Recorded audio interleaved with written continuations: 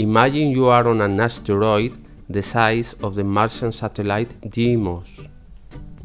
Deimos is around 6 kilometers in radius. Its acceleration of gravity is 2452 times smaller than that of Earth.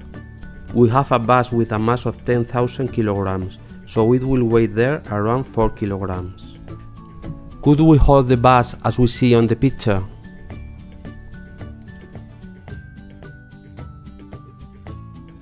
Could we lift it from the ground?